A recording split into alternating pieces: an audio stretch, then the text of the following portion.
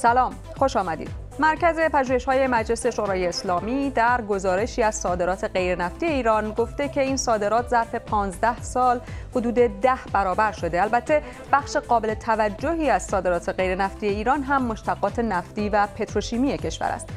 همین گزارش تاکید می کند که شمار کشورهایی که بیشترین کالا و خدمات را از ایران وارد می کنند بسیار محدود است. در حال حاضر 80 درصد صادرات غیرنفتی ایران به 9 کشور است در حالی که سابقا اینها 32 کشور بودند.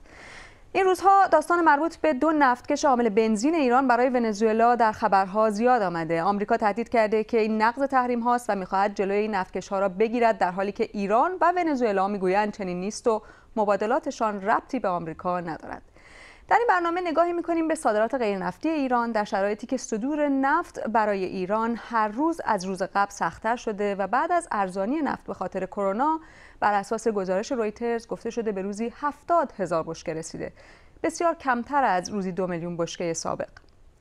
بر این اساس صادرات غیر نفتی برای ایران اهمیت ویژه می‌یابد. آیا ایران می‌تواند از این موقعیت استفاده کند و تمرکزش را به جای صادرات نفتی بر صادرات غیر نفتی بگذارد؟ آیا امکان این چرخش برای ایران هست به لحاظ امکانات منابع انسانی و سایر موضوعات. چقدر تحریم نفتی ایران می‌تواند راه را برای صادرات غیر نفتی باز کند؟ دو میهمان داریم. از کلگری کانادا شهیر شهید سالس تحلیلگر مسائل سیاسی با ماست. و محمد جواد شل سعدی کارشناس حقوق تجارت بین الملل از پاریس. خوش میگم به هر دوی آقایون. ما بحث رو از این قضیه بنزین و کشتی های حامل بنزین برای ونزوئلا شروع بکنیم. چون بنزین هم به نوعی در همین بخش صادرات غیر نفتی قرار می‌گیره. علا رقم این که به نظر میاد که باید صادرات نفتی باشه. آیا شهید سالس شما چطور می‌بینید این داستان رو؟ به نظر من این موضوع اقتصادی نیستش. یعنی این پنج کشتی حالا به قرار گزارشی که بلومبرگ داده پنج کشتی هستش. این جنبه اقتصادی نداره. کل قیمت این پنج کشتی 45 میلیون دلاره. حالا بگیم اینها بیشتر از به خاطر شرایطی که ونزوئلا داره بیشتر از ونزوئلا بتونن پول بگیرن. چقدر دو برابر بگن 90 میلیون دلار. اون ارزش اقتصادی به اون شکل نداره. به نظر من ایران یه سری اهداف سیاسی رو داره اینجا پیگیری می‌کنه با فرستادن این کشتی های بنزین به ونزوئلا. آیه شعله سری نظر شما چی می‌دونم به طور خاص در مورد ونزوئلا مطالعات زیادی دارید. فکر می‌کنم اساسا حالا این صدور این بنزین و ونزوئلا رو نمیشه در کتگوری در واقع تجارت قلمداد کرد. من فکر می‌کنم بیشتر اینها میشه اسمش رو بدبستون های در واقع حالا سیاسی و مالی تو امان در واقع فکرش کرد و در واقع اینا رو اینجوری تصور کرد. به این دلیل که این میزان همینطور که آقای شهید سالس گفتن اصلا میزانی نیست که حالا مثلا ارزش اقتصادی کلانی برای یک کشور بخواد داشته باشه. از هدف ایران و ونزوئلا چیه از این بابت؟ بیشتر مسئله این هست که این دو کشور جفتشون تحت تحریم های شدید امریکا هستند و شرایط در دو کشور بسیار پیچیده هست. در ونزوئلا شرایط شاید حتی از ایران هم بدتر باشه. ما می‌دونیم ماهای گذشته ونزوئلا با بحران و قطعی شدید همراه بوده و در واقع مواد مصرفی و مایحتاج ضروری مردم عملا نایاب شده بود و بنزین بله. هم یک اقلام هست من فکر کنم بیشتر یک کمک استراتژیک هست در شرایطی که ایران در این وهله زمانی تونسته این کمک رو انجام بده و در واقع بخواد یه تنفس یک نفسی به آقای مادارو برسونه و یک مقداری در واقع بار سیاسی رو ایجاد بکنه و نزدیکی این دو کشور رو بیشتر بکنه به هم به لحاظ حقوق بین الملل از شما می‌پرسم چون آمریکا گفته این نقض تحریم هاست دو کشور گفتن رفتی به آمریکا نداره. ممکن شما خیلی روشنتر به ما بگید که اصلا آمریکا در این زمینه حق داره این رو بگه یا نه؟ خب آمریکا حق داره اینو بگه برای که نقض تحریم های خودش هست. ولی از لحاظ بین المللی و حقوق بین المللی در واقع این دو کشور تحت تحریم های سازمان ملل قرار نگرفتن و در واقع نفت ایران و ونزوئلا رو آمریکا به صورت یک جانبه مورد تحریم قرار داده. درش خب طبیعتا بله درست هست در واقع نقض تحریم آمریکا هست. ولی وجهه در واقع حقوق بین المللی رو اینها نمیشکنن با همچین کاری و در واقع سازمان ملل وجاهتی نداده مستقیما به این تحریمایی که آمریکا وضع کرده و این فشاری هست که در واقع من فکر می‌کنم از لحاظ روانی آمریکا می‌خواد از این فرصت استفاده کنه و بیشتر روی ایران و ونزوئلا وارد بکنه بله. و ما این دو کشور خیلی با هم در واقع شبیه به هم هستن رفتاری که آمریکا باهاشون انجام میده به لحاظ سیاسی آقای شهر سالس به نظر شما چقدر اهمیت داره که ایران این راه ها رو باز کنه یا باز نگه داره؟ ما بر اساس همین گزارشی که بهش اشاره کردم شما هم مطالعه فرمودید می‌بینیم که تعداد کشورهایی که ایران باهاشون مبادلات تجاری گسترده تری داشته کم و کمتر شده. الان بیشترین تجارت ایران غیر نفتی با نه کشور هست. در حالی که می‌دونیم به هر حال ایران بسیار هم وابسته است الان به صادرات غیر نفتیش به خاطر که صادرات نفتش به شدت کاهش پیدا کرده ظرف ماهای اخیر چقدر به نظر شما اهمیت داره این رابطه رو نگه داشتن با برخی از این کشورها؟ ببینید بذارید من یه مسئله رو بگم. آقای شوله سعدی به یک مورد خوبی اشاره کردن. من فقط هدف ایران رو از این کشتی رو بگم بعد جواب شما رو میدم. ایران سه تا هدف رو از این کار به نظر من پیگیری می‌کنه. یکی همون که آقای شوره سعدی فرمودن که یک سیستم ضد امریکایی رو به هر صورت در نیمکره جنوبی می‌خواد حفظ بکنه و حمایت بکنه. ولی یه هدف دیگه ایران قدرت نمایی هستش. این برای ایران تو این شرایط خیلی مهمه و می‌خواد نشون بده به دنیا و هم به آمریکا نشون بده که قادر هستش دست به همچین کاری بزنه بدونه که به صلاح عکس یا واکنش امریکا بتونه از خودش نشون بده. یه دلیل دیگه به نظر من تضعیف ترامپ هستش تو جریان انتخابات. روی این مسئله ایران حساب می‌کنه و می‌خواد اون پرستیژ و حیثیتی که ترامپ برای خودش درست کرده در اثر فشار روی ایران این رو یه مقدار بشکنه از بین ببره. اینکه ایران چقدر باید روی این مسئله نو کشور حساب بکنه به نظر من به اصطلاح حالت مسکن داریم این وضعیت. موقعیت اقتصادی ایران یک موقعیت بسیار بسیار شکننده ای هستش. تمام ارقام و اعداد شاخص های اصلی اقتصادی مثل بیکاری مثل تورم اینها همه دورنمای خوبی رو از ایران نشون نمیدن. بنابراین من فکر نمی کنم که ایران حتی اگر بخواد که وضعیت رو با این نوع کشور حفظ بکنه در شرایط فعلی چندان تغییری که نقطه عطفی باشه بتونه وضعیت رو تغییر بده تو جریان اقتصاد کشور نمی‌تونه به وجود بیاره. صحیح.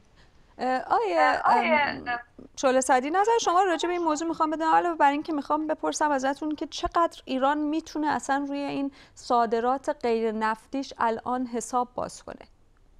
من فکر نمی کنم واقعا ایران بتونه حساب زیادی باز بکنه. به دلیل اینکه عملا صادرات غیر نفتی ایران عمدتا همون مشتقات نفتی هست و در واقع این صورت مسئله رو پاک کردنه و به معنی واقعی کلمه صادرات غیر نفتی که در اقتصاد امروز ما می‌شناسیم واقعا وجود نداره امروز برای ایران. یکی یا عامل دیگه هم که این وسط وجود داره که همون صادرات غیر نفتی هم که در واقع ایران دم ازش می‌زنه باز هم دولتی هست. ولی در اقتصاد امروز ما شاهد این هستیم که صادرات غیر نفتی رو عموما شرکت های خصوصی پیشگامش هستن و انجام میدن و اونها موتور و مولد این صادرات غیر نفتی در همه جای دنیا هستن. ولی مشکلات ساختاری که ایران داره باعث میشه که تولید در ایران فعلا در شرایط فعلی بسیار سخت هست با تحریم و در واقع مشکلات تکنولوژیک و بانکی و مالی و اینایی که ایران باش دست به گریبان هست. و همچنین عدم سرمایه گذاری و عدم سرمایه گذاری خارجی و عدم ثبات در بازارهای داخلی اینها همه باعث میشه که در واقع عملا ایران حرفی برای گفتن در زمینه تولید نداشته باشه که بخواد این رو در واقع صادر بکنه و این تولیدات بخوان در جاهای دیگه دنیا مشتری هایی پیدا بکنن. یعنی ایران اون رقابت پذیری رو در واقع نداره. با شرایط فعلیش مخصوصا بسیار سخت هست به دلیل اینکه در واقع تجار ایران و صادرکننده های ایران بسیار مشکل دارن برای صادر کردن در واقع تولیدات ایرانی و همچنین برگردوندن اون ارز به ایران که بتونن دوباره باهاش مبادلات انجام بدن. و الان در واقع مبادلات مالی و تجاری با ایران بسیار پیچیده شده و بانک ها زیر بار این نمیرن که بخوان این مبادلات رو در واقع ساپورت بکنن. و ما پس چطور هست که ده برابر شده ظرف سالهایی که اغلبش هم سالهای تحریم بوده؟ خب ببینید نسبت به اون زمانی که در واقع اینها بررسی می‌کنن و اون سبد کالایی رو که تعریف می‌کنن بازی با ارقام هست به نظر من. و فکر می‌کنم که خب ما می‌تونیم این از لحاظ در واقع ریاضی این رو تغییر بدیم. ولی واقعیت ماجرا این هست که اینها صادرات پتروشیمی صادرات در واقع مشتقات نفتی هست که حالا وقتی که ایران در یک مقطعی بسیار این صادرات رو کم کرده بود ولی در ازای صادرات نفتیش بیشتر بود. خب حالا الان صادرات نفتی بسیار کم شده در تلاش می‌کنه هرچه بیشتر این صادرات رو بیشتر بکنه. و ولی خب در این حال خب این صادرات ممکنه حتی انجامم بشه ولی اصلا هیچ گارانتی نیست که این پولش برگرده به ایران و این در واقع این صادرات بتونه بهره مالی هم برای ایران فعلا در کوتاه مدت لاقل داشته باشه. بر اساس همین گزارشی که مرکز پژوهش‌های مجلس داده هشت کشور نه کشور رو نام می‌بره که ایران همونطور که گفتم 80 درصد مبادلات غیر نفتیش با این کشورها هست. عمان پاکستان هند ترکیه کره جنوبی افغانستان امارات عراق و چین. آقای شهید سالس به نظر شما آیا این سالم هست که یک کشوری بیشترین روابط تجاریش با به لحاظ سیاسی منظورم هست با یه تعداد به خصوصی از کشورها باشه؟ یا اینکه منطقا بهتر این هستش که با بازه بزرگتری از کشور باشه؟ می‌دونیم به لحاظ اقتصادی به هر حال هر کشوری بر اساس اینکه تجارت با چه کشورهایی بیشتر برش سود داره با اونها تجارت می‌کنه.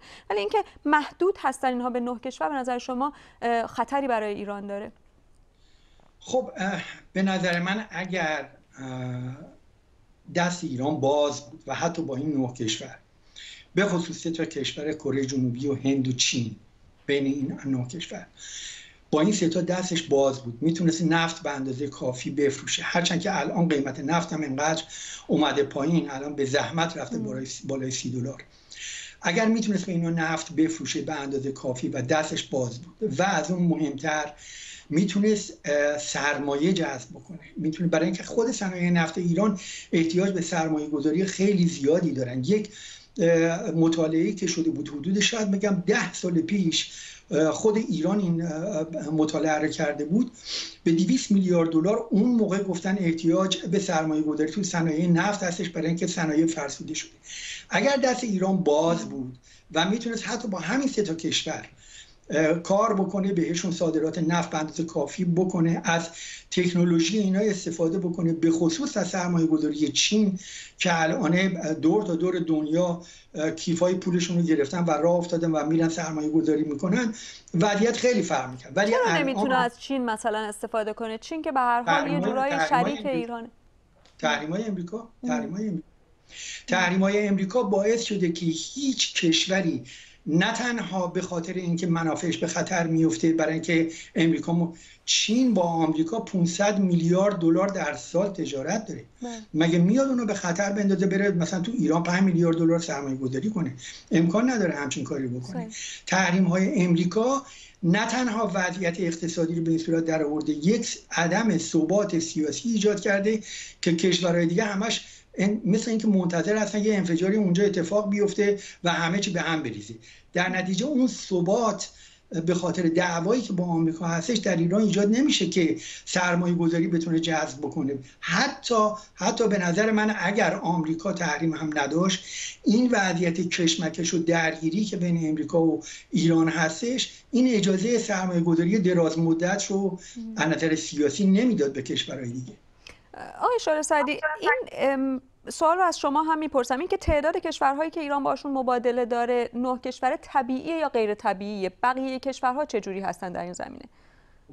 آقای سالس جواب رو من فکر کنم مناسب دادن. این مسلما تحریم های امریکا است که باعث میشه که هیچ کشور دیگه ای این مبادلات رو با ایران نداشته باشه و حتی این نه کشور هم در واقع مبادلاتی که دارن کمابیش میشه گفتش که با در واقع گرفتن مجوزهای از آمریکا یا حالا به صورت مشخص و رسمی یا غیر رسمی هست و من مستقیما اشاره می‌کنم مثلا به عراق که مجوزهای را از آمریکا می‌گیره برای خرید برق و انرژی از ایران یا مبادلاتی که ایران با ترکیه داره و مبادلات محدودی که ایران با مثلا امارات داره با اینکه شرایط سیاسی نسبت آیا ایران مجبور هست که به اینها در واقع یه تخفیف های ویژه‌ای بده برای کار کردن با این کشورها؟ ایران آیا به اونها در واقع یک سوبسیدهایی میده یا نه؟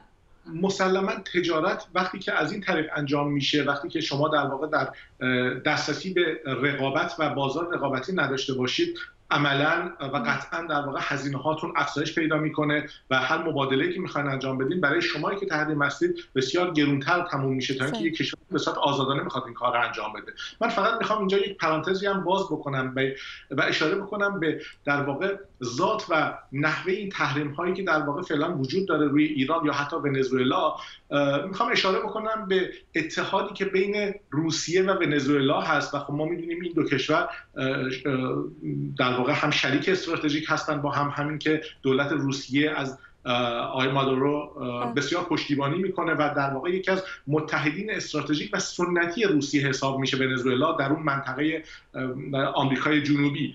ولی همین هفته گذشته بود که شرکت ملی نفت روسیه اعلام کرد که به صورت کامل از ونزوئلا خارج میشه و تمام فعالیتش در ونزوئلا در واقع متوقف می‌کنه. این نشون دهنده این هست که ذات این تحریم ها آنچنان سنگین هست که عملا منافع هیچ کشوری و هیچ شرکتی حتی اگر اون شرکت دولتی هم باشه صرف نمی‌کنه که بخواد در واقع این ریسک رو بکنه و با این کشوری که تحریم شده در واقع بخواد کار یعنی بکنه. شما حدس می‌زنید وضعیت ایران هم به سمت ونزوئلایی شدن داره پیش میره به اون سمت میره. خب خیلی این سوالی هست که جوابش مشخص نیست برای که فاکتورهای خیلی خیلی زیادی هست که این وسط وجود داره. ولی عملا میشه گفتش که دردسرها و مشکلات عظیم اقتصادی که دو کشور در واقع اینها دارن از یک جهات خیلی شبیه هم هست. ما می‌دونیم که در ونزوئلا حالا وضعیت بسیار وخیم هست. ولی یک سری از سیاست هایی که آقای چابز پایگذاری کرده بود در سالیان گذشته و این سیاست ها بسیار تورمزا بودند و باعث شد که در واقع کشور منابعش رو از دست بده یک بخشی از مشکلات هست فقط تحریم های آمریکا هم نبوده بله. ایران هم همچون سیاست های از همون شکل در واقع وجود داشته سیاست های پوپولیستی که در ظاهر به بله. نفع مردم در واقع کم درآمد هست ولی در عمل اثر تورمیش آنچنان زیاد هست که می‌تونه همون مردم کم درآمد رو دچار مشکلات عدیده و بزرگتری بکنه. این ذات بله. من شبیه هم میبینمشون آقای شاید سالس ایران الان در وضعیت خوبی قرار نداره ولی از اون طرف ما می‌دونیم که بین آمریکا، چین و روسیه هم اختلافات خیلی روز به روز عمیق‌تر میشه. به خصوص سر همین جنگ تجاری سر قضیه کرونا. روزی نیست که آقای ترامپ چین در واقع چیزی نگه یا برعکس. فکر می‌کنید که فضایی در این میانه باز بشه برای ایران؟ آیا فکر می‌کنید که ایران می‌تونه از این فرصت استفاده بکنه؟ ببینید یه چیز یه اصل کلی رو ما باید نگاه بکنیم. نظام بین المللی رو علا رقم این که هی صحبت قوانین بین المللی میشه و حقوق بین المللی نظام بین المللی رو قدرت و زور می‌سازه. این مخلص کلمه چرا؟ پنج تا کشور شدن عضو دائم شورای امنیت. درست؟ کی به این پنج تا کشور رأی داده که برن بشن؟ عضو دائم اونجا قانون بگذرونن و قانون جهانی بشه. هیچ کس. چهار تا کشور پیروزمندای جنگ جهانی دوم بودن. چین هم بعد از اینکه هسته شد به این جمع اضافه شد. برای قدرت و زور هستش که تو دنیا حرف اول رو می‌زنه. آقای ترامپ مگه جزئی از امضا کننده های قطنامه 2231 نبود؟ بله. خیلی راحت گذاشتش کنار. مثلا من همینه. آیا بالانس به نظر شما در حال تغییر هست به سمتی که به نوعی بشه حساب کرد که ایران می‌تونه بله. سودی ببره؟ من خدمتتون عرض می‌کنم. ببینین همین همین الان یه مسئله که امریکا داره مسئله تمدید این تحریم های تسلیحاتی ایران هستش. درست؟ بله. خب الان بحثی که چین و روسیه می‌کنن میگن ما موافق نیستیم. اگر تو بخوای قطنامه بیاری اینجا ما وتو می‌کنیم و همونجور که شما درست هم گفتین هر دو این کشور در حال استکاک با آمریکا هستن. اما از اون طرف نگاه کنیم برگردیم به خود برجام. سه تا کشور اروپایی اونجا هستن. شاید انگلیس از همه بیشتر راقب هستش و قبلا همینا در ماه ژانویه اومدن اون برنامه به اصطلاح حل اختلاف رو یا مکانیزم ماشه رو فعال کردن. حالا ددلاین و موعد براش نداشتن. خب همون رو اگر امریکا به اینا فشار بیاره بگه یا تعرفه می‌ذارم روی جنسایی که می‌خوایم با آمریکا بفرستیم و یا میام و یا برین این به اصطلاح مکانیزم رو فعال بکنین و بیارینش تو سازمان ملل که تحریما دوباره برگرده شما مطمئن باشین که این سه تا کشور این کارو می‌کنن. هیچ کاری هم از دست روسیه و چین در اون صورت ساخته نیستش. برای که اتوماتیک بره تو شورای امنیت تحریم ها برمیگرده از جمله تحریم سلاح اینا. اینه که من میگم این نظام رو قدرت می‌سازه برای این از اینجا میگم. بله. حالا امریکا می‌تونه از این سلاح گذاشتن تعرفه و این داستان ها رو اروپا استفاده بکنه و چین و روسیه رو کاملا با حاشیه برونه بله. متاسفانه در مورد هر چی که در مورد ایران صحبت می‌کنیم بحث تحریم ها انقدر غالب هست که نمی‌تونیم ازش فرار کنیم. ولی بحث این برنامه ما به خصوص من می‌خواستم راجع به صادرات غیر نفتی ایران باشه. آقای صدی اگه شما به عنوان یک اقتصاددان که حقوق بین الملل رو هم می‌شناسید بخواید به ایران در این باره مشورت بدید. بگید که آقا تو چه حوزه هایی شما اگر که سرمایه گذاری کنید و چه جور کار بکنید موفق تر خواهید بود میگید چه کار بکنن؟ دو چیزی که اول دو کاری که اول ایران می‌تونه انجام بده مبارزه واقعی با فساد هست و اصلاح ساختار.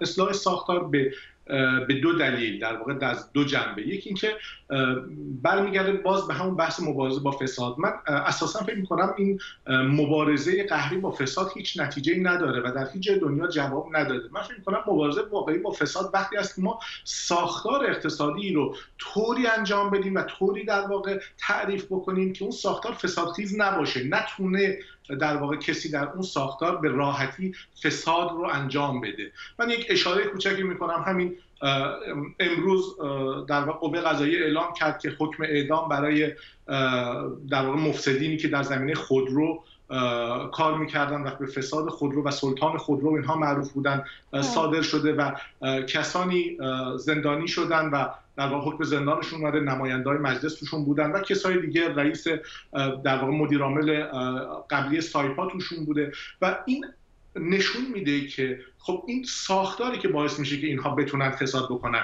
مستقیما یکی از موارد اتهامی این بودی که این فردی که به اعدام محکوم شده تونسته چندین هزار خودرو پیش خرید بکنه. دقیقا این سوال من این جرمه؟ دقیقا. خب این خودش به صرف جرم نیست. یک نفر اگه بتونه چندین هزار خود رو پیش خرید بکنه که به نظر من نمی‌تونه جرم باشه. ولی خب در قوانین ایران ظاهرا اینو جرم تعریف می‌کنن. ولی مسئله اینه که نه در قوانین جرم تعریف نشده. بس همینه. من سوالم اینه که آیا چیزی که قبلا جرم نبوده در قوانین شما می‌تونستید سکه بخرید به هر تعداد یا ماشین بخرید به هر تعداد الان می‌تونن اینو تبدیلش کنن به جرم بر اساس قوانین؟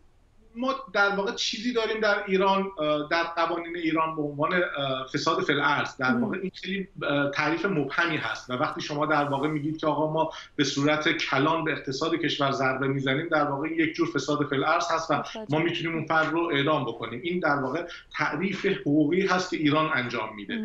ولی دقیقا مشکل همینه. مشکل اینه که ما هر چقدر بیایم این آدم هایی که سکه خریدن ماشین خریدن زمین خریدن هر چیزی خریدن اینا رو اعدام بکنیم چیز رو حل نمی‌کنه. چیزی که مشکل رو حل می‌کنه اینکه ما تعریف سازوکاری رو داشته باشیم که تو اون سازوکار کسی نتونه چند هزار خود رو پیش خرید بکنه. خب این خیلی هم ساده هست. یعنی اصلا کار پیچیده ای نیست. بله. اون شرکت می‌تونه یک در واقع آینامه داشته باشه که کسی بیشتر از نمی‌دونم دو تا پنج تا ده تا ماشین بیشتر نتونه پیش خرید بکنه.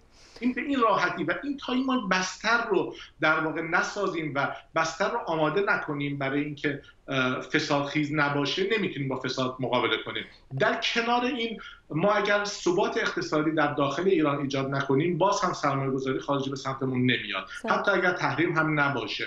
یعنی قیمت ها قیمت ارز تورم اینها اگر کنترل نباشه به صورت میان مدت و دراز مدت هیچ جذابیتی نداره برای یک شرکتی بیاد میلیون ها دلار در ایران سرمایه گذاری بکنه و سال بعد میلیون ها دلارش از ریال بخواد دوباره به دلار تبدیل بکنه یهو نصف شده یا اینکه مثلا از بین رفته در نتیجه ما تا این ثبات رو و فساد رو در واقع حذف نکنیم از اقتصاد ایران نمی‌تونیم هیچ کاری بکنیم من فکر کنم اولین توصیه‌ای که بله. می‌تونم به ایران بکنم اینه که این دو جنبه رو روش کار بکنن فرای تحریم و هر چیز دیگه ای که ما می‌تونیم تصورش بکنیم. آیه شهر سالس وقت خیلی کمی داریم به نظر شما به لحاظ سیاسی چنین خواسته در مقام های ایران دیده میشه؟ ببینید پاسخ کوتاهش اینه که نه. ایران اگر بخواد وضعیتش تغییر بکنه باید این دعواشو با آمریکا تشنج رو باید بیاره پایین.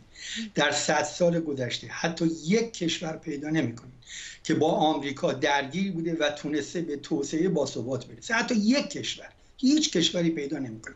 با آمریکا تو دعوا بوده و به توسعه باثبات برسه. اینا داستانه. از طرف دیگه آیا ایران همچین اراده درش هستش؟ سپاه پاسداران انقلاب اسلامی دقیقا تو ایدئولوژیش میگه که دعوای ما با آمریکا دعوای موجودیتی است و تا زمان ظهور امام زمان هم ادامه داره. و سلام و نام تمام. بنابراین این این رو هم برای شعار نمیگن. اینو واقعا بهش معتقدن. معتقدن که این دعوا قابل حلی و معتقدن حتی سیستم امریکا رو می‌تونن بیارن پایین از طریق صدور انقلاب. این یه واقعیت نه ایران به نظر من تغییری نمی‌کنه مذاکره اگه, اگه بکنه هیچ وقت مذاکره برای رفع تشنج و تشنج زدایی نخواهد بود بلکه مربوط به موارد خیلی خاصی مثل مسئله هستی و بله. اینجور مسائل خواهد متشکرم آقای آقای شهیر سارس آقای شل متشکرم که در این بحث شرکت کردین و ممنونم از شما که با صفحه دو همراه ما بودید. برنامه بعدی ما روز پنجشنبه خواهد بود. برنامه رو می‌تونید به صورت پادکست روی تلگرام یا اپلیکیشن پادکستتون بشنوید یا به صورت ویدیویی در سایت یوتیوب ببینید. شب روزتون خوش.